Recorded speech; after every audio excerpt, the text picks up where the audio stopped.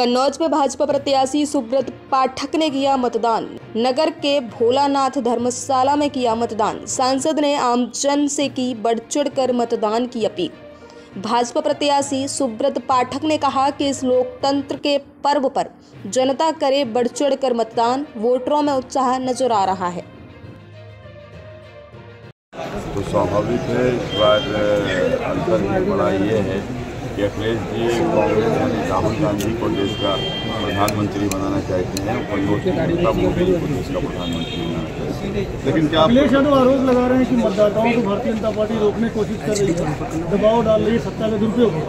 करते थे ये लोग यही करते थे दो हज़ार चौदह में किए थे इसके बाद में उनकी जब सरकार थी तो इसी प्रकार का होता था। दो हज़ार बारह में करा दिए थे आइडियाज़ अच्छे हैं इनके पास में। तो उनको लगता है कि शायद उन आइडियाज़ पे काम हो रहा हो लेकिन अखिलेश जी का जो तंत्र जो जो फर्जी मतदान का था वो तो अखिलेश जी कांग्रेस पढ़ने नहीं दिया जाएगा परिवारवाद को लेकर के भी चर्चा होती रही है। परिवारवाद परिवारवाद अखिलेश आप लोग आप लगातार बोलते रहे सारे परिवारवादी करते हैं।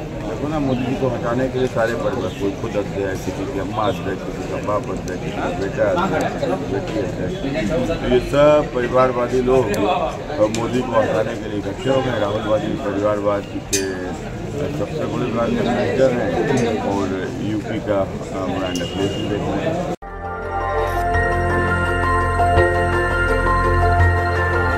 देखते रहिए डीबी भारती समाचार। नज़र हर खबर पर।